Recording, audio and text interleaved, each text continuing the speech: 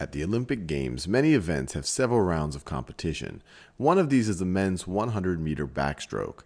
The upper dot plot shows the times in seconds of the top eight finishers in the semifinal round at the 2012 Olympics.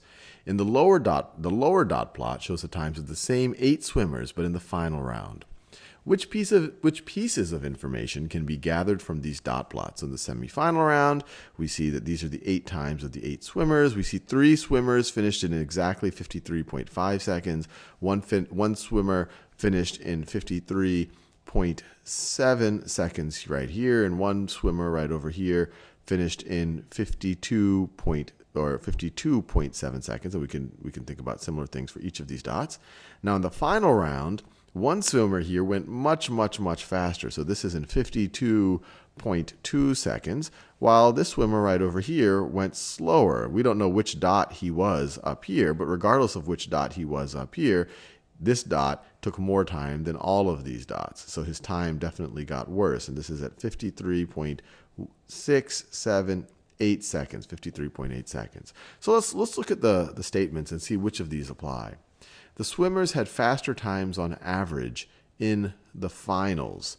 In the finals. Is this true? Faster times on average in the finals. So if we look at the finals right over here, we could take each of these times, add them up, and then divide by 8 the number of times we have. But let's see if we can get an intuition for where this is, because we're really just comparing, we're comparing these two, these two plots, or these two distributions, we could say. And so let's see, if we if we if all the data was these three points and these three points, we could kind of find we could intuit that the the mean would be right around there. It would be around 53.2 or 53.3 seconds, right around there. And then we have this point and at this point. If you just found the mean of that point and that point, so halfway between that point and that point would get you right around there. So those two, the mean of those two points would bring down the mean a little bit. So maybe, you know, and once again, I'm not figuring out the exact number, but maybe it would be around 53.2, 53.1 or 53.2 seconds. So that's my kind of in, my intuition for the mean of the final round. And now let's think about the mean of the semifinal round. So if you just look at if you just look at let's just look at these bottom four, five dots. If you find their mean, you could intuit would be maybe right around someplace around here, pretty close to around 53 point 53 point what is it 53.3 seconds. And then you have all these other ones that are at 53.5 and 53.3 which will bring the mean even higher. So i think it's fair to say that the mean in the final round in the time is less than the mean up here. And you could calculate it yourself but i'm just trying to look at the distributions and get an intuition here.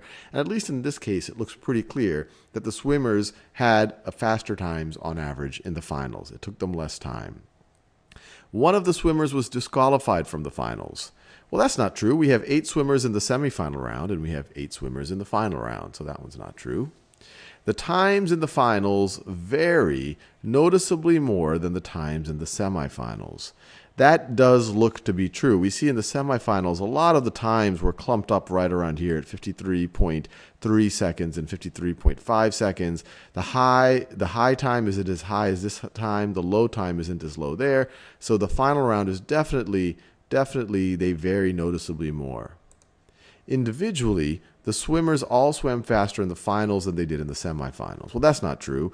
Well, whoever this was, they clearly they were one of these data points up here. This data point took more time than all of these data points. So this represents someone who took more time in the finals than they did in the semifinals. And we got it right.